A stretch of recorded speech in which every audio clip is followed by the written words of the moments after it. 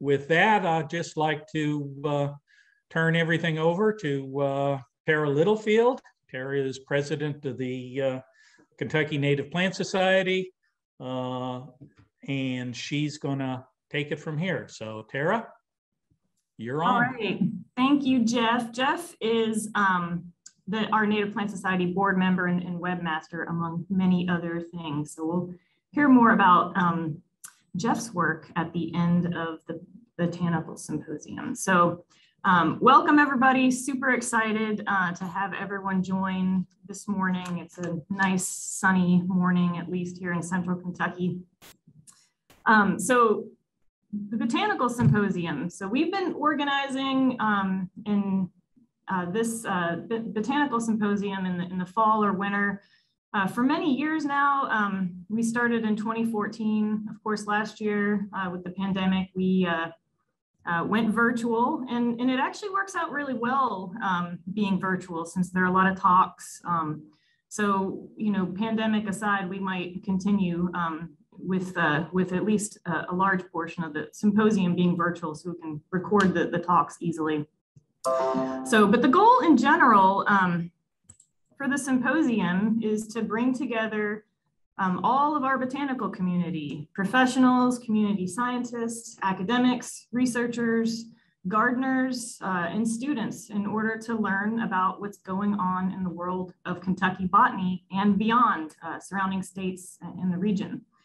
Um, lots of good stuff is happening. Um, there's a, a, lot of uh, benefit to just providing everyone updates of what types of different projects and organizations are working on uh, you know, different, uh, different native plant projects across the state. So, you know, our goal is just to, to collaborate more and, and communicate more and, and, uh, and we feel that this is a, is, is a great way to do it. So um, our first presentation uh, that we're going to move into now is kind of, we're going to bombard you with some rapid updates uh, from several staff uh, from the Office of Kentucky Nature Preserves. So I'm, I'm, I'm Tara Littlefield. I'm the president of the, the Native Plant Society, but I'm also a botanist and a plant conservation and natural heritage manager uh, for the Office of Kentucky Nature Preserve. So I work with a lot of really awesome botanists and ecologist folks that are also working on a lot of great native plant projects. Um, so we are going to just kind of give you some highlights of what we've been working on um, and also a few highlights of what Native Plant Society um, has uh, planned uh, in the coming months. So I will share my screen and pass it off to Heidi Braunreiter, who is uh, the Native Plant Society Vice President uh, and also a fellow botanist at the Office of Kentucky Nature Preserves. Heidi. Okay, hello everyone. Um, I'm just going to talk about some of our upcoming events real quick. Um, this coming spring, our annual Wildflower Weekend will be at Natural Bridge State Park. Um, we are planning an in-person event with hikes and presentations and a Friday night social. Um, the event will be $10 to participate and we will offer discounts for membership renewals at the event. Um, and we're very excited to go back to in-person, so we hope you all join. Um, in addition to the Wildflower Weekend, we are holding a statewide Botany Blitz for the week leading up to Wildflower Weekend. Um, last year, we held a Botany Blitz in lieu of an in-person event, along with um, a bunch of virtual hikes that are still available on our website if you want to see them.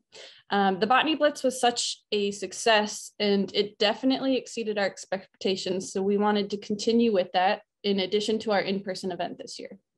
Um, so last year, there were 110 observers in the group. Um, over 3,000 observations were made in just a week span, and 460 plant species were documented in Kentucky. So over 80% of those uh, reached research grade, meaning the ID was confirmed by other iNaturalist users.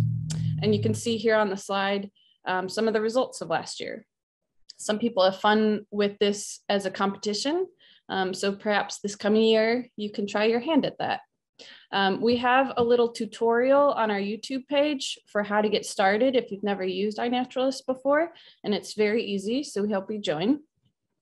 Um, and we're also planning uh, field trips for this coming year, but that is still in the preliminary stages. So definitely stay tuned to our Lady Slipper blog to hear more about those in the coming year.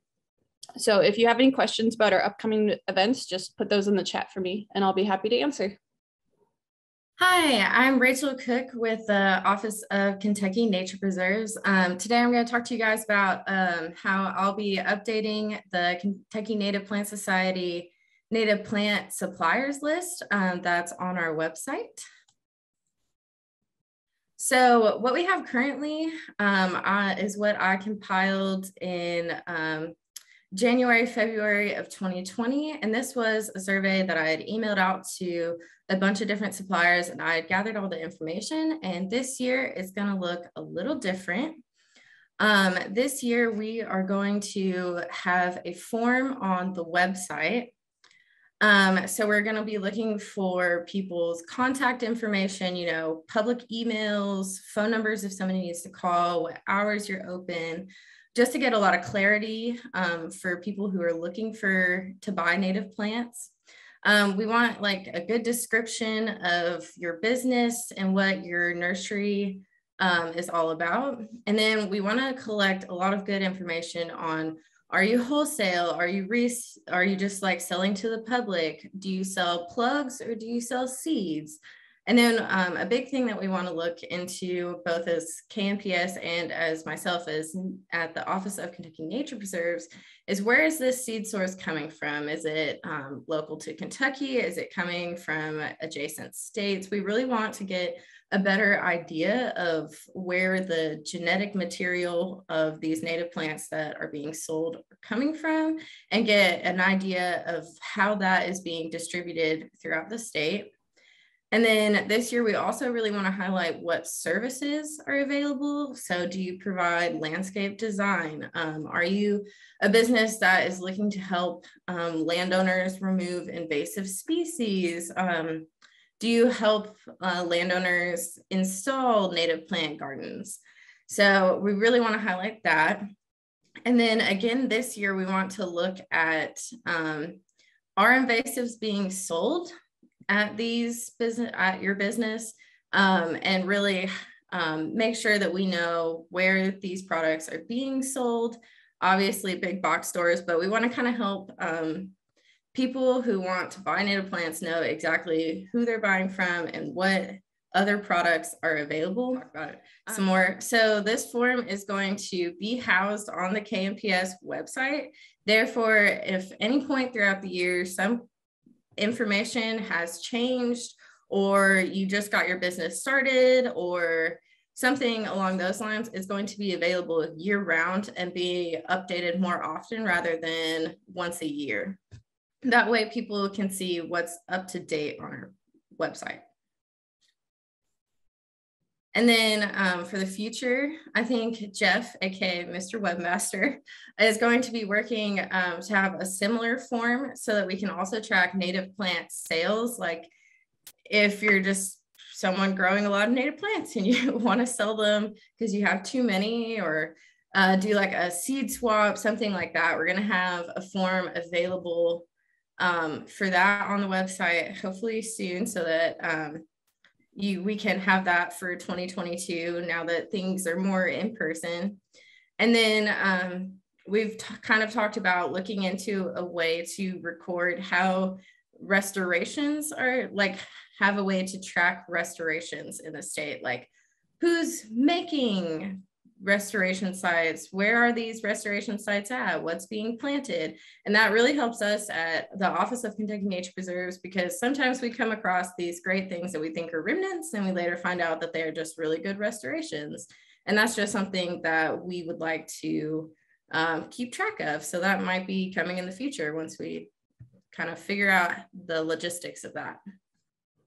All right. So i'm just going to give a a few highlights from the Office of Kentucky Nature Preserves.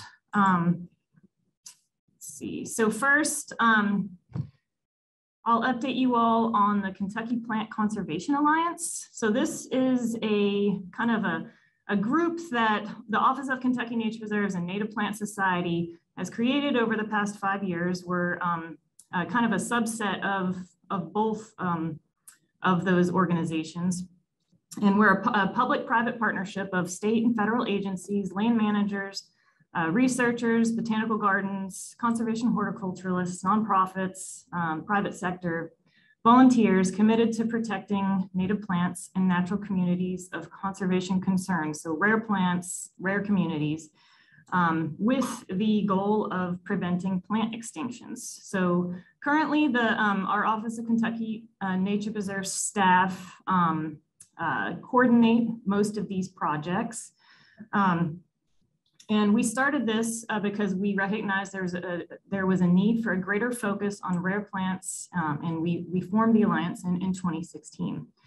So we also, um, this group um, also uh, uh, networks with the greater region, uh, the Southeastern Plant Conservation Alliance. And as I said, the, the, a lot of the projects are coordinated by our botanists at uh, the nature preserves. Um, and what we do, collaborative, we um, organize collaborative meetings like the native clover conservation meeting that was last year. Um, we organize work days, outreach, uh, volunteer building, things like that. So a lot of those uh, projects that we've started um, you know, our single species projects, working on rare plants, and also just kind of looking at ways that we can expand the conservation strategy of these rare plants into the conservation horticultural world. Um,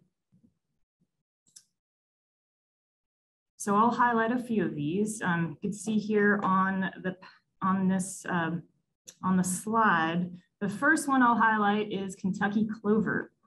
So Kentucky clover is a globally endangered uh, bluegrass woodland species. It's endemic to Kentucky. It's actually functionally extinct in the wild already, um, but we were able to collect seed. And um, you know, what do you do if, if a rare plant is, is really rare and you want to try to increase populations or um, you know, protect uh, existing populations? So we, we do a lot of seed banking, um, we've partnered with the Cincinnati Zoo. Um, Valerie Pence uh, leads that group um, on um, propagating Kentucky clover. Um, Office of Kentucky Nature Preserve staff have been managing sites um, that are a suitable habitat for the Kentucky clover for introductions. and we've partnered with Kentucky Native Plant Society on organizing uh, meetings uh, to conserve the Kentucky clover. So I'm happy to report that that this is uh, one of those rare plants that has come full circle uh, in terms of uh, collecting seed, uh, managing habitat, working with conservation horticulturalists, and then uh, just this past month, we uh, transplanted close to 100 Kentucky clover plants back into the wild, into um, high quality habitat.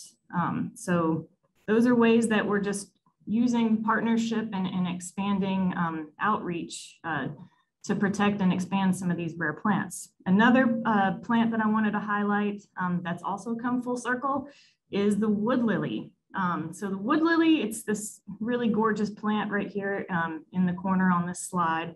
It's a state endangered pine barren species that grows in the Cumberland Plateau.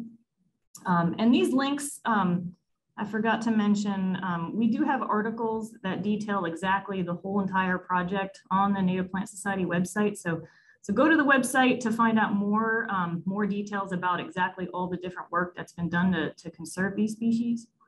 Um, but back to the wood lily, um, this species we started in uh, 2016 uh, trying to um, collect seed of it. So this is a, a rare plant that occurs on roadsides and power lines and there was a lot of threats to this species in terms of mowing regimes and loss of habitat from the, the Pine Barrens uh, community, lack of fire, herbivory, things like that. So we were losing a, a large amount of our population. So we partnered with um, folks like uh, Dropseed Nursery, the Daniel Boone National Forest, Kentucky Heartwood, uh, collected seed, um, uh, we had to set out cages on these wood lily plants in order uh, to prevent the, the plants from being um, browsed by deer in order to collect seed.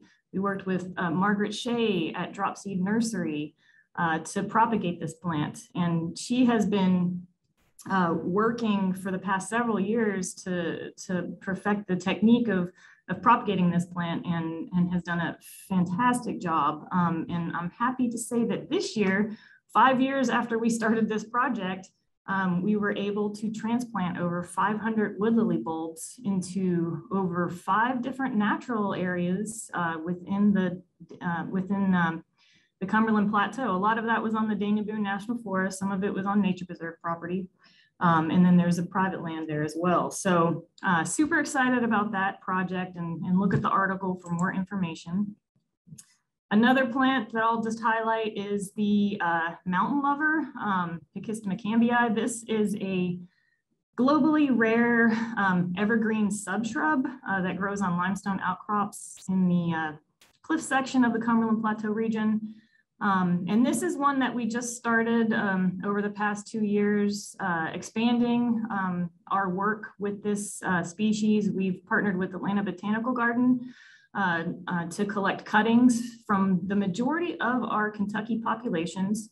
Um, and they now have them in propagation there in Atlanta. Um, and we've partnered with the Daniel Boone National Forest and also Berea College Forest and nature preserves. Um, so eventually within the next year or two, we will um, get a lot of those plants back and transplant them back into high quality suitable habitat.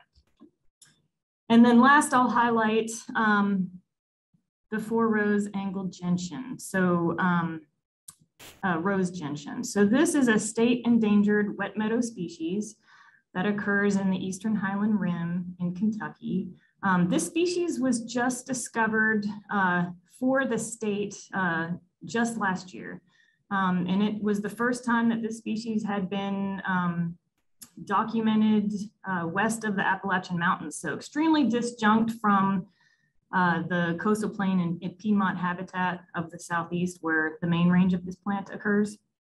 This plant occurred on private land and, uh, and we're still working on protection efforts of this one population, but unfortunately uh, the landowner um, uh, did not want to sell and uh, really wanted that habitat for a different purpose. Um, so uh, we worked tirelessly over the past uh, two years to collect seed of this plant, and we've partnered with Ironweed Nursery, Alicia Bosella, to propagate it and transplant it into um, uh, wet meadow, protected wet meadow habitat. So that occurred this year. We're still um, monitoring the progress of those transplants um, so that's a, a, another really great project um, that involves multiple partners. I mean, a lot of these, uh, uh, you know, rare, rare plant and, and natural community conservation um, takes a lot of partnerships um, and a lot of effort to really make a difference to make sure that these, these plants and, and communities are protected in the long term. I wanted to just mention something that's that's a pretty uh, exciting uh, thing that's happening now uh, for plant conservation in Kentucky. A lot of you might know um, of the state wildlife action plans. Um, for um, uh, every state has one. They're multi-year strategies uh, in which every US state and territory assesses the health of its wildlife and lays out steps for conserving it over the long term. So these plans establish a framework for conservation efforts um, that aim to protect species before they are endangered, with each plan custom fitted to its jurisdiction's unique needs and priorities. So traditionally, state wildlife action plans have just included animals, um, and the uh, Fish and Wildlife agencies lead these plans. Um, and over the past 10 years, there's, there's really been a lot of work um, uh, from different plant conservationists to start including uh, groups like plants in these state wildlife action plans. So I'm happy to report that Kentucky is one of those states. So currently right now, um, we're in the Southeast region. About half of the states currently have plants within their state wildlife action plans as species of greatest conservation need. Um, and we are actively now working with Kentucky Fish and Wildlife over the next year and a half to add plants um, to, to the swap. So that's that's really great. Um, that will expand um, a lot of, uh, uh, of targeted uh, plant conservation um, for a lot of our rare plants. So we're really excited about that. Um, we're also, um, it's kind of a, an overlapping project, but every four years we, we update um, the Kentucky's rare plant list. Um, and we are um, currently, uh, Devin Rogers is, is, is uh, helping a lot out a lot with this project, assessing all of the plants in the state to make sure that that we know what the what the conservation status is of all of our rare plants. So um, once we get that that new updated rare plant list, um, finished, then we will work on a subset of those rare plants um, in different priority actions in, in, in, conservation and add those into the state wildlife action plan. So, so that's really exciting. Um, and then I'll just uh, end with um, just giving you all an update of our rare plant and community monitoring on, um, on our natural areas across the state. So over 65% of our rare plants um, are in disturbance dependent communities.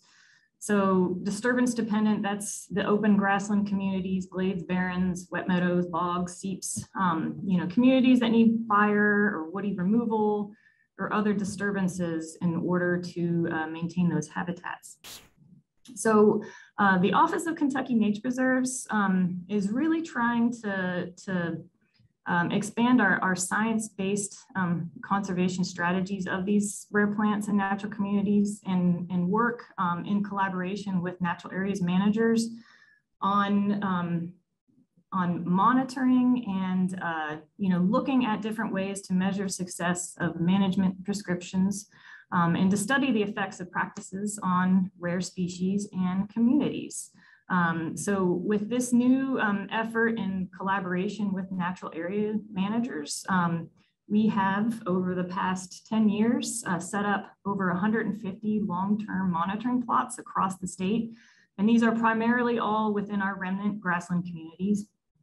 Uh, these uh, uh, uh plots, uh, vegetation plots, look at management effects over time, and they also help us classify these uh, communities. Um, we look at the floristic quality assessments of the plants that occur there.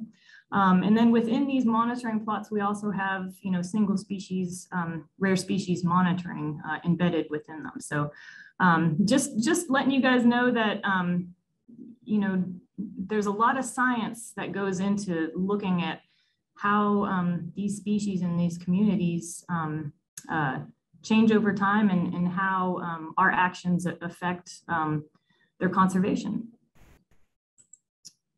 So I'll pass it along to Tony. All right. Hi, everybody. I'm Tony Romano. I'm a botanist with Kentucky Nature Preserves. And I'm going to provide a, a, quick update to uh, our roadside grassland project that was started in 2020. Um, so just as very brief background, uh, roadsides have increasingly gained recognition for their potential conservation value. Uh, they've been shown to provide uh, important habitat for, for pollinating insects, um, including some at-risk species like the monarch and the rusty patch bumblebee. Uh, and these roadsides can also provide really important refugia for rare and conservative grassland plant species. Uh, so in recognition of that, uh, we've started a statewide roadside survey project. And Tara, if you want to go to the next slide. Um, so this is a five-year project we initiated in 2020. Um, it's in partnership with the Kentucky Transportation Cabinet. And so the goal of this project is to uh, survey all of the state maintained roads uh, over the course of five years with the goal of identifying and evaluating remnant habitats, uh, rare species, and also pollinator resources. Uh, so this map shows kind of our, uh, our plan uh, as you can see, uh, we're, we're, splitting it up so that each year we survey about 20 to 25 counties. Uh, in 2020, we surveyed the counties that are highlighted in blue. Uh, so that's primarily the Big Barrens region of the state. And then in 2021, we surveyed all the counties in that uh, light pink color. So uh, more southeast, including the Cumberland Plateau. And then next year, we'll be moving on to Western Kentucky. And just to show you what that looks like um, a little in a little more detail, uh, this is our progress map to date. So all of those uh, blue colored roads are ones that have been surveyed so far. It's about 13,000 miles of road. So it's a, a pretty uh, significant effort. And then all of those little stars are sites where we've conducted a habitat evaluation. Uh, so that means there was something there that, uh, you know, one of our, bot our botanists saw and, and, decided to, to pull over and take a look. Um, and so I'll just kind of go over our uh, results quickly. As I said, we've, we've completed 13,000 miles of road and we evaluated 200 sites. Um, out of those, we identified over 140 sites that had either a rare plant present or some other uh, grassland indicator species. So some sort of, uh, uh, like a good example is the liatris in this photo. So something that indicates that maybe this used to be a remnant grassland or it's otherwise a sun-loving plant that requires kind of a, a more open uh, condition to persist. And so we found 62 sites in 2020 that kind of met that criteria. And then this past year, we found 83 sites that met that criteria. Um, but the quality of these sites does uh, vary pretty dramatically. So some of them are high quality. Other than other ones are uh, pretty badly degraded and, and sort of the uh, desirable species are just barely hanging on. So, so they're not all created equally. Uh, out of all of these sites, we've identified 30 grasslands um, that we would consider good or better quality.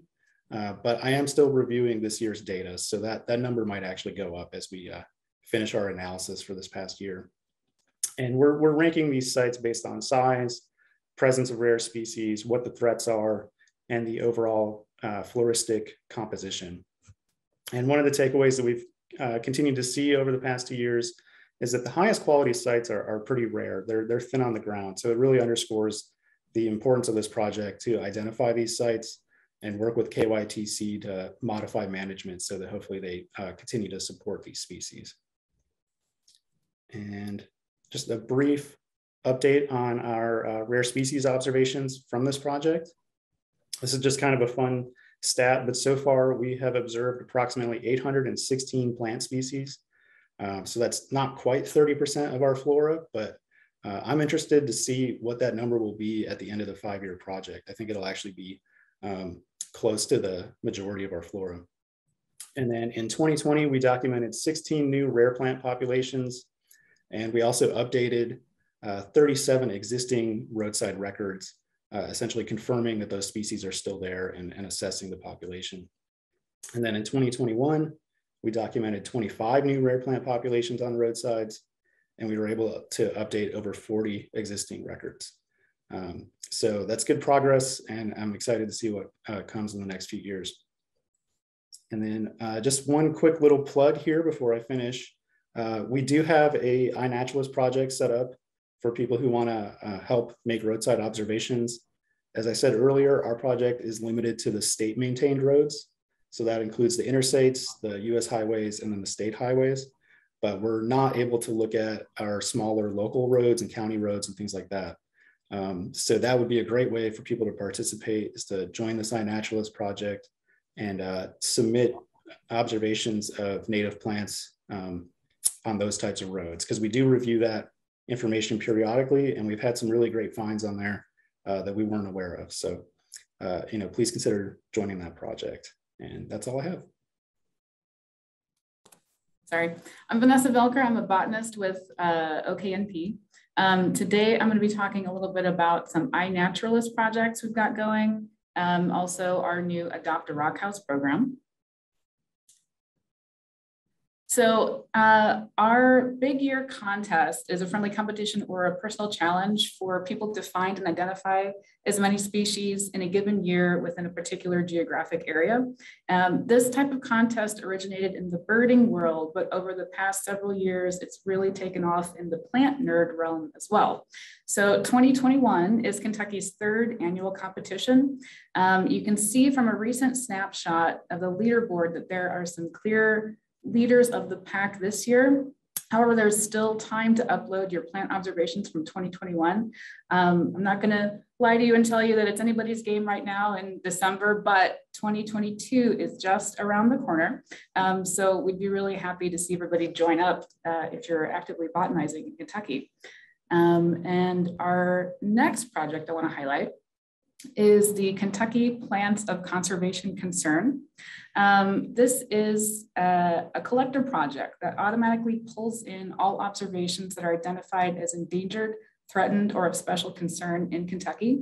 Um, with so many citizen scientist eyeballs covering so much ground, uh, iNaturally, our iNaturalist observers are actually helping us at OKNP to um, to keep tabs on occurrences of rare plant species in the state. And they're also discovering new unknown to us occurrences.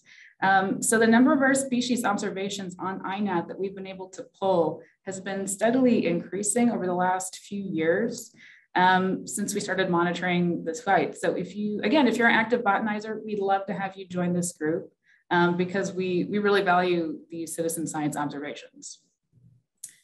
Um, and the final thing I want to talk about is our new Adopt a Rock House volunteer program. In 2022, we're excited to be rolling this out. Um, this will help us continue to collect population data on the recently delisted species white-haired goldenrod. Um, this is a very rare goldenrod species. It's a Kentucky endemic. It occurs only in the Red River Gorge area of Menifee, Powell, and Wolfe counties. Um, and within that small area, it only grows on the ledges and protected areas behind the drip line of sandstone rockhouses. Um, the species was declared federally threatened in 1988, and through uh, diligent surveying, monitoring, and protection efforts, white-haired goldenrod in the gorge made substantial recoveries, and the species was delisted in 2016. Um, at that point, a five-year post-delisting monitoring plan was put into place to keep tabs on those populations. And that monitoring plan has reached its final year this year. Um, however, even with that successful recovery, populations of white-haired goldenrod are still vulnerable to trampling or digging or invasive species. So to that end, we are seeking the assistance of uh, citizen scientists to help us keep an eye on these populations that are still exposed to recreational impacts. Um, and with our US Forest Service partners and Dan Dorson, we're developing um, mobile data collection survey and reference materials to train volunteers to continue the same monitoring protocols that we've been doing for the last five years. Um, so far, we've had a really great response from enthusiastic citizen scientists interested in the program, but we still have volunteer openings and rock houses that people can adopt. So if you are interested in hearing more about the program or you'd like to be a volunteer monitor, we'd love to hear from you. Um, you can send me an email at vanessa.velker at ky.gov and I'll put that in the comments in a minute um, and to request an Adopt a Rock House volunteer application. Okay. Um, hi, hello, good morning. Uh, my name is Kendall McDonald. I'm a botanist and lichenologist with Office of Kentucky Nature Preserves, um, and I am the lead on the Kentucky Forest Biodiversity Assessment Program and our lichen and bryophyte lists. I'm just going to give you guys brief updates because we are behind on the schedule. Um, so just an overview of the Forest Biodiversity Assessment Program. Uh, we plan to do a full state inventory within five years of Kentucky and to achieve that, we are surveying 20% of Kentucky counties per year. We started this um, in 2019 in partnership with the Kentucky Department of Ag. Um, this program focuses on rare and conservative forested plant species, forest community uh, diversity and structure, herbaceous diversity, uh, forest medicinal and species of commercial concern, invasive species and other threats, and old growth analysis. Um, just to give you some progress and tentative findings, we're kind of in the middle of this project. Uh, three of five uh, years of our field work have been completed. Uh, two years have the data has been analyzed and reported, um, but we're still working on year three uh, for that. We um, you know, since we've started, we have surveyed over 150 uh, forest blocks And within uh, those forest blocks, uh, we've documented approximately 70 new populations of species of conservation concern. Um, and that is defined by the state ranks. Um, the state uh, ranks go from S1 to S5, S1 being the most rare and S5 being the least rare. So um, species of conservation concern. In this context, we include uh, S1 through S3 species. Um, we also have documented over 550 occurrences of United Plant Saver at-risk species. This is an organization that determines um, medicinal and commercial uh, plant species that um, have a lot of risk of becoming extinct um, due to human overharvesting. Um, we've analyzed a lot of threats for Kentucky forests and um, the most prominent aggressive uh, threat to Kentucky forests is definitely uh, non-native invasive species encroachment. Um, and over the last three uh, years, three species have really stood out to us being Japanese stiltgrass, uh, multiflora rose, and Japanese honeysuckle. Going forward, um, excuse my poorly made map here. I just made it in paint to be really quick. Um, but going forward, we have two more years of field work and every single county that is in white here um, are counties that need to be surveyed in the next two years. Um, we work with public and private landowners. So I just like to throw it out there. If you have or know of a forest block um, that is high quality, diverse, has uh, forest may have forest medicinals or species of conservation or commercial concern. Um, you are welcome to contact me and we can talk about the property and vet it and see if it fits into this program. Um, I'll put my email into the chat, uh, but it's right there, kendall.mcdonald at ky.gov. Um, so if you have a property uh, that you think would fit into this program, please email me and we can discuss it. And this is uh, the last thing I'm going to talk about. This is uh, going to be really quick. Um, Nature Preserves has been working on lichens and bryophytes um, with partners, especially uh, Dr. Allen Risk from Morehead State University.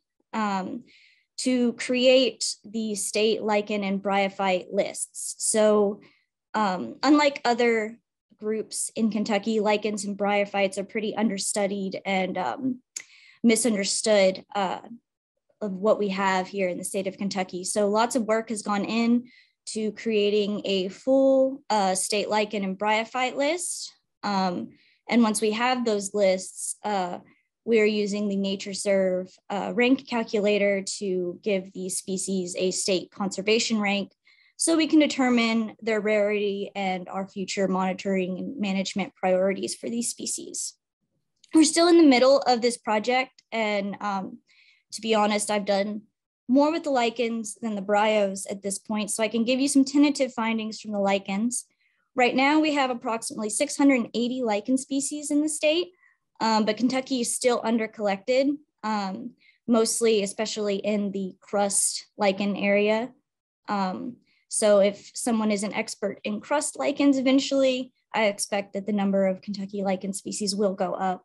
Um, but those are just really hard to collect and identify. Um, and you have to really, really uh, have a lot of practice uh, with those. Um, as going through those, we have over 100 potentially rare lichens, um, and that ranking is still going on right now. Um, I've definitely been a little more liberal with which ones are going to go through the ranking calculator, but I would rather cover a little too much than not cover enough. Um, so if you guys would like to contribute to this project, um, it's obviously still ongoing, we're not done yet. Please post any lichen or bryophyte uh, observations to iNaturalist. There is a Lichens of Kentucky project that I've been managing for a couple years now. Um, and since we've added bryophytes to this within the next couple uh, weeks, I plan on making a bryophytes of Kentucky project to manage and to pull observations from there. So if you'd like to contribute, you can post uh, lichen and bryophyte photos and observations on iNaturalist, or you can send um, those photos uh, to my email. And again, I will put that in the chat. And that is all I have. Thanks, guys.